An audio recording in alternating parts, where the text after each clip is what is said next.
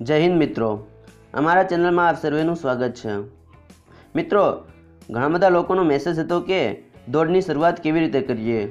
કઈ રીતે દોડીએ તો પોલીસ કોન્સ્ટેબલની દોડમાં સારા માર્ક મેળવી શકીએ? તો મિત્રો, આ વિડીયોમાં આજે આપણે દોડવા માટેની કેટલીક ટ્રિક્સ જોશું. આ ટ્રીક ફોલો કરીને તમે અઢારથી વીસ મિનિટમાં પાંચ કિલોમીટર પૂરું કરી શકો છો.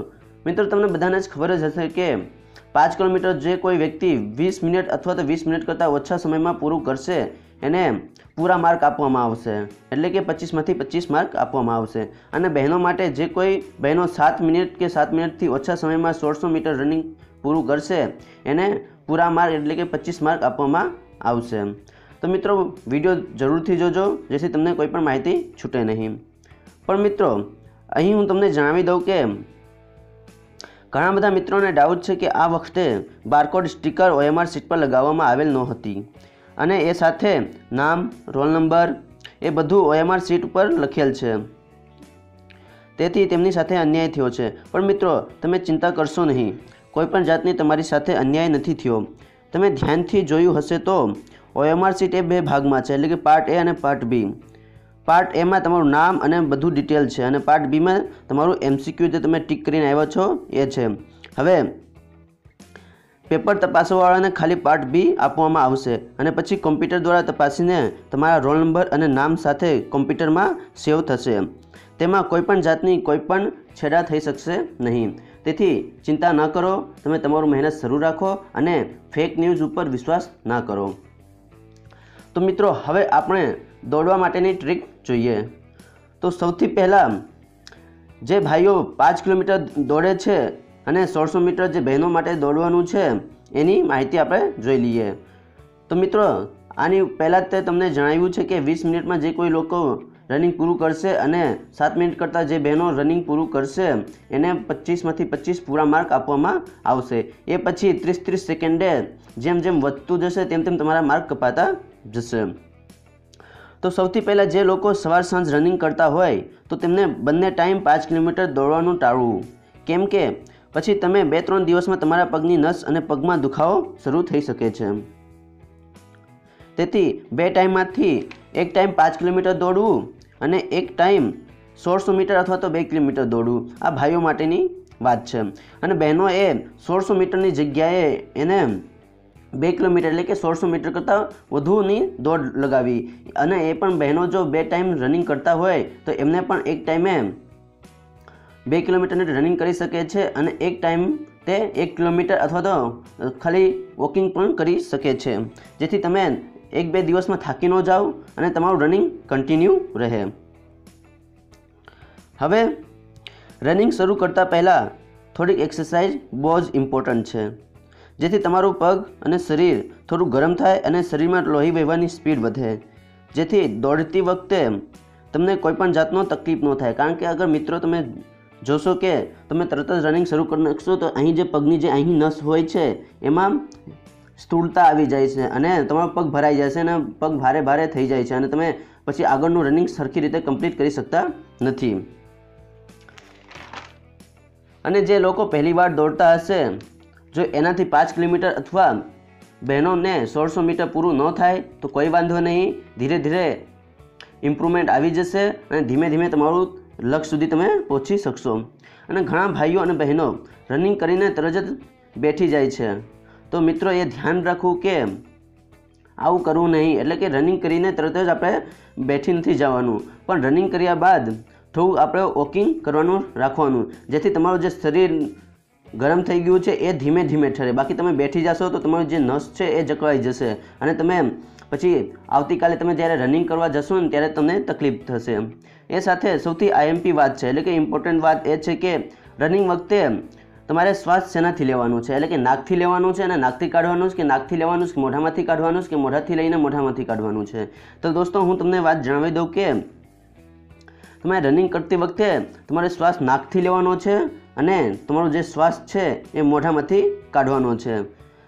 મિત્રો, ઘણા બધા એવા હશે કે તમને સલાહ આપશે કે તમે શ્વાસ નાકથી લ્યો અને શ્વાસ નાકથી જ કાઢો. તો તમારે બહુ સારું રહેશે. પણ મિત્રો, હું તમને અહીં જણાવી દઉં છું કે તમે શ્વાસ નાકથી લ્યો અને મોઢામાંથી કાઢશો તો તમારે બહુ બેનિફિટ રહેશે અને તમે જલ્દી થાકશો નહીં, તમારું શ્વાસ ફૂલશે નહીં. બાકી જો તમે નાકથી શ્વાસ લેશો અને નાકથી કાઢશો, તો તમને, તમે જલ્દી થાકી જશો. અને મિત્રો, તમને જો વિશ્વાસ ન થતું હોય તો તમે ટ્રાય કરી શકો છો. તમે એક દિવસ એવું કરજો કે તમે નાકથી શ્વાસ લો અને નાકથી જ કાઢવાનું રાખજો. અને બીજા દિવસે તમે નાકથી શ્વાસ લો અને મોઢામાંથી કાઢજો. તમે, તમને ફેર ખબર પડી જશે કે તમે શેનાથી શ્વાસ લેશો તો વધુ તમને બેનિફિટ રહેશે. હવે રનિંગ માટે જાઓ તો આ સમય જે ઠંડીનો સમય છે અને સવારે અને સાંજે થોડોક સમય ટાઢો હોય છે. તો સૌથી પહેલાં તમારું જે શરીરનું તાપમાન છે એ જાળવવું ખૂબ જરૂરી છે અને શરીરનું તાપમાન ઘટી ન જાય તેની માટે પૂરા કપડાં પહેરવું. જે કોઈ મિત્રો ઘરથી દૂર રનિંગ કરવા જતા હોય, એને અપર પહેરવાનું રાખવું અને કાને વ્યવસ્થિત કાનમાં હવા ન જાય એની માટે પૂરી કાળજી રાખવી. અને પછી રનિંગ બાદ શરીર તરત જ ઠંડુ ના પડી જાય એની પણ ખાસ કાળજી રાખવી. કારણ કે જો કારણ કે જો શરીર તરત જ ઠંડી પડી જશે, તો તમારી તબિયત ખરાબ થવાની સંભાવના વધી જશે. અને જે લોકોને રનિંગમાં શ્વાસ ફૂલી જાય છે, એટલે કે થોડું દોડ્યા બાદ તે હાફો ચડી જાય છે તેને, એ વ્યક્તિ હવેથી અનુલોમ વિલોમ અને લાંબો શ્વાસ લઈને રોકી પછી છોડવાનું આવું સવાર સાંજ દસથી પંદર મિનિટ કરી શકે છે. મિત્રો, આ યોગા છે, તમે રામદેવ બાબાને જોયું હશે કે એ યોગા અનુલોમ વિલોમ અને કપાલ ભારતીને એવું બધું ઘણું બધું કરાવે છે. એ આ એ જ વસ્તુ છે. તમે આ પ્રક્રિયા કરશો તો તમારે જે શ્વાસ રોકવાની જે ક્ષમતા છે અને તમારું જે ફેફસું અને પેટ છે એ મજબૂત થશે.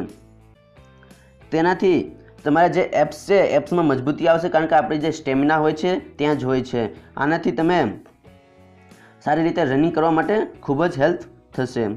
હવે શરૂઆતમાં દોડવાની એક બે દિવસ તમારું પગમાં પણ દુખાવો રહી શકે છે. એટલે મિત્રો, તમે જ્યારે શરૂઆત કરશો, તમારે આજે આ ભાગ છે, અહીંયા તમારો દુખાવો થઈ શકે છે. તો એની માટે આપણે શું કરવાનું છે? દરરોજ આપણે ગરમ તેલની માલિશ કરવાની છે. અને તેલમાં તમને કહું તો સરસો તેલ, એટલે કે જે આપણે અહીં રાઈ કહીએ છીએ, એના, એનો તેલનો ઉપયોગ કરી શકીએ. અથવા તો તલના તેલનો આપણે ઉપયોગ કરી શકીએ છીએ માલિશ કરવા માટે. અને જો વધારે દુખાવો થતો હોય તો આપણે જે સરસોનું તેલ છે, એમાં કપૂર જે આપણે કોઈપણ પ્રોવિઝન સ્ટોરમાંથી મળી જશે, એ કપૂર વાટીને અને એમાં નાખીને ગરમ કરીને એનો ઉપયોગ કરશો, તો તમને ખૂબ જ રાહત મળશે. અને તમારો જે નસ છે, એ પણ ખુલી જશે. અને દોડ્યા બાદ મિત્રો, તમારે તરત જ એક્સરસાઇઝ અથવા તો સ્ટ્રેચિંગ કરવાનું છે. એનાથી તમારું જે નસ છે એ જો સ્થૂળ થઈ ગઈ હોય તો એને છૂટી પડી જશે. અને મિત્રો, જે કોઈ લોકો રોડ ઉપર દોડે છે, તો એને હું એક સલાહ આપીશ કે એની માટે તમારે સારી એમ જે સોલ હોય એવી શૂઝ ઉપયોગ કરવાનું. કારણ કે તમે રોડ ઉપર રનિંગ કરશો, તો તમારે થડકો વધુ લાગશે. અને થડકો વધુ લાગવાથી તમારા જે પગની નસ છે એ દુખવા લાગશે. એટલે એની માટે ખાસ કાળજી રાખવી. અને જો તમારે સારી રીતે પ્રેક્ટિસ કરવી જ હોય ને મિત્રો, તો તમારે જે રેતાળ ભૂમિ હોય એની પર કરશો, તો એ તમને જ્યારે તમે એક્ઝામ દેવા જશો ફિઝિકલ એક્ઝામ ત્યારે પણ એમાં હેલ્પ કરશે. કારણ કે ત્યાં તમારો જે કોઈ પણ વારો આવશે અહીંયા રોડ ઉપર તમને દોડાવશે નહીં. કારણ કે તમે રોડ ઉપર દોડશો તો તમારું ટાઈમિંગ ઓછું જ આવશે. એટલે કે જે વ્યક્તિ આમ સિમ્પલ ભૂમિ ઉપર દોડશે એને પચીસ મિનિટમાં પૂરું થતું હશે તો એ રોડ ઉપર દોડશે તો એને ચોવીસ મિનિટમાં પૂરું થશે એટલે એટલું ફેર પડી શકે. એટલે આપણે પહેલેથી જ તૈયારી રાખવાની કે ત્યાં આપણને કયા એટમોસ્ફિયરમાં દોડાવશે એની પહેલેથી જ આપણે તકેદારી રાખવાની. અને મિત્રો, આ દરમિયાન તમારે ડાયટમાં શું શું લેવી? એની માહિતી હવે પછીના વિડીયોમાં આપણે આપીશું. મિત્રો, કોઈપણ જાતની તમને માહિતી જોઈતી હોય તો તમે કોમેન્ટ કરીને પૂછી શકો છો.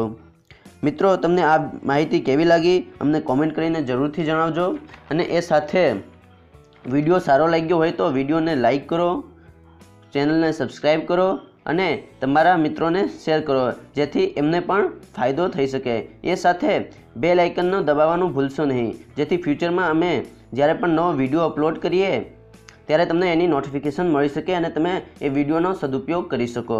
એ સાથે મિત્રો, જે કોઈ લોકોને એમ છે કે એમને માર્ક, કેટલા માર્કે એમને દોડવા માટે બોલાવવામાં આવશે, તે એની માટે અમે ઓલરેડી વીડિયો અપલોડ કરી ચૂક્યા છીએ. એ વીડિયો જોઈને તમને તમારી દરેક સવાલોનો માહિતી મળી શકશે, એટલે તમારા દરેક સવાલોનો જવાબ મળી શકશે.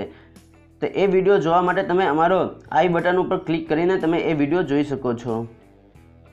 વીડિયો જોવા માટે ધન્યવાદ મિત્રો. જય હિન્દ. જય જય ગરવી ગુજરાત.